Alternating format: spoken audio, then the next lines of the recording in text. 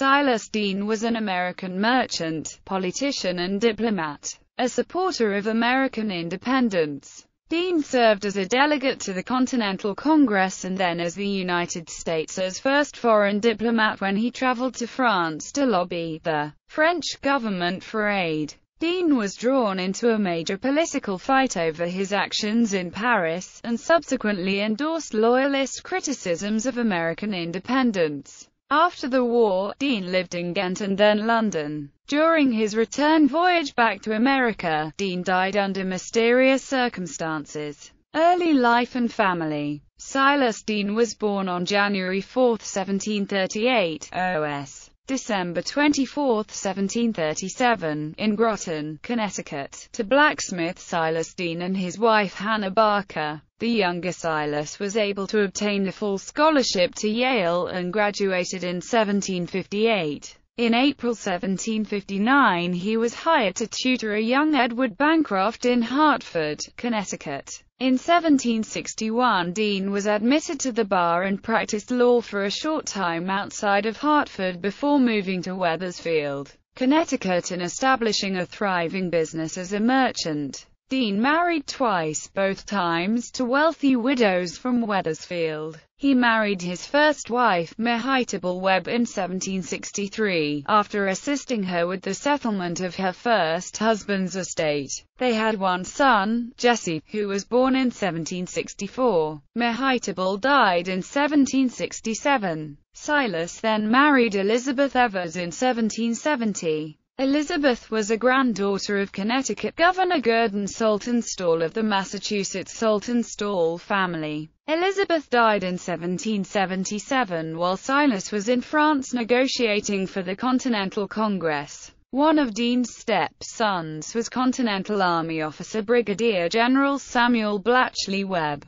Continental Congress Deane took an active part in the movements in Connecticut preceding the American War of Independence. He was elected to the Connecticut House of Representatives in 1768, appointed to the Wethersfield Committee of Correspondence in 1769, and from 1774 to 1776 was a delegate from Connecticut to the Continental Congress. While a member of Congress, Deane used his influence to obtain a commission in the Continental Army for his step-son, Samuel B. Webb, who had accompanied him to Philadelphia. Deane excelled in the committee work of Congress, helping to coordinate the attack on F.D. Ticonderoga and establish the United States Navy. A dispute between Deane and fellow Connecticut delegate Roger Sherman, over whether to support the appointment of Israel Putnam as a major general under Washington's command led the Connecticut legislature to replace Deane as a delegate to the Continental Congress.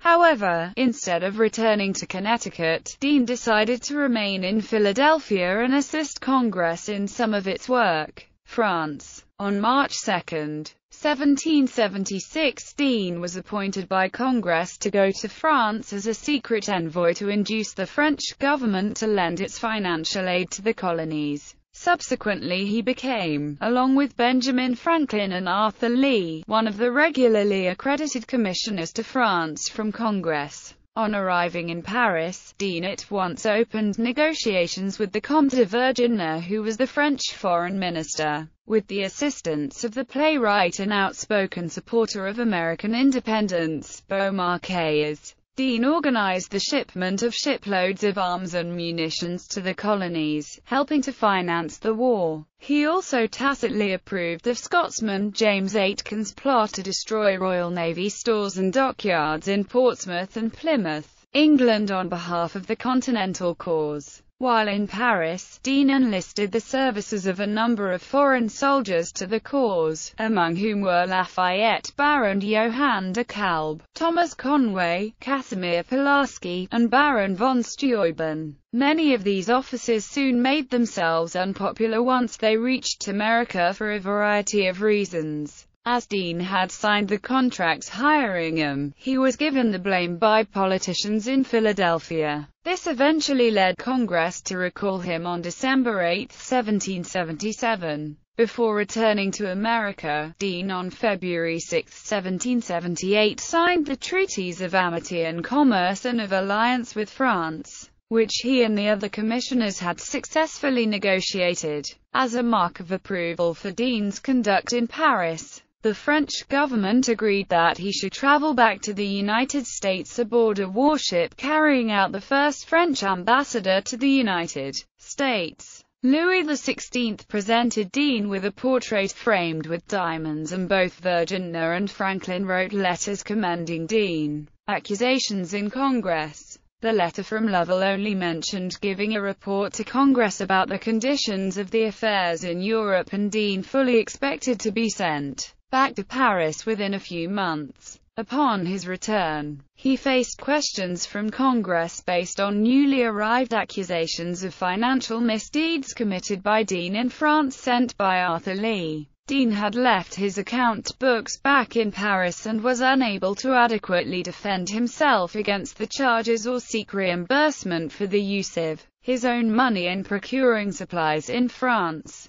In Congress, Deane was defended by John Jay in a long and bitter dispute over the charges. Frustrated, Deane published a public defense in the December 5, 1778 issue of Pennsylvania Packet entitled The Address of Silas Deane to the Free and Virtuous Citizens of America in which he attacked Arthur Lee, other members of the Lee family, and their associates. Arthur's brothers, Richard Henry Lee and Francis Lightfoot Lee both wrote responses, calling Deane's accusations libelous and injurious to the American cause for independence. On January 14, 1779 Deane replied in the Pennsylvania Packet, listing eight ships that had sailed from France with supplies due to his efforts. Congress then offered Deane $10,000 in depreciated continental currency in compensation but Deane refused feeling the offer was too low. Deane's requests for copies of his receipts and disbursements were refused by France, since France had not officially made alliance with the Thirteen Colonies until February 6. 1778, they felt that any such evidence of their prior involvement would be a diplomatic embarrassment. Deane in turn then agitated for a diplomatic break with France and questioned the integrity of members of Congress who disagreed with him. Deane was finally allowed to return to Paris in 1780 to settle his affairs and attempt to find copies of the disputed records. When he arrived there he discovered that he was nearly ruined financially after the value of his earlier investments had plummeted and some of the ships carrying his merchandise had been captured by the British. Events turned even worse after the November and December 1781 publication in the Rivington's Royal Gazette in New York of private letters Deane had sent earlier to his brother, which were subsequently intercepted by the British.